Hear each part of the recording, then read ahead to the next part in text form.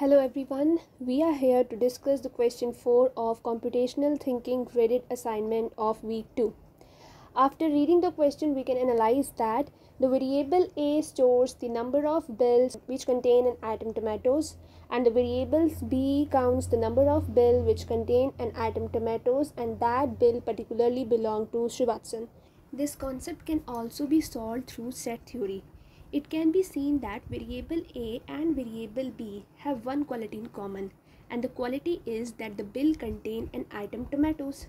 So it can be said that B is a subset of A. If we will minus B from A, so it will represent only that part of the set A in which there is no element of B.